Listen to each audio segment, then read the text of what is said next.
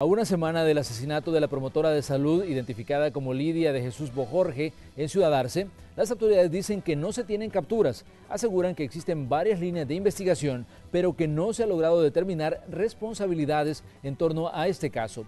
Varias personas fueron capturadas en vías de investigación, pero no se les pudo comprobar a ninguno algún nivel de participación en ese crimen tuvimos la oportunidad de platicar con ellos y nos confirmaron que existía una disputa, al parecer porque existen dos directivas ahí en el...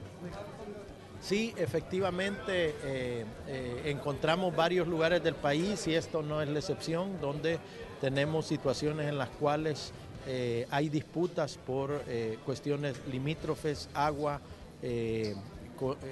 generación de infraestructura incluso de beneficio a las comunidades. Y entonces en estos procesos hemos tenido en otras ocasiones incluso víctimas mortales producto de ello, con lo cual en este caso de Ciudad Arce, pues nosotros no podemos descartar esa como una posibilidad.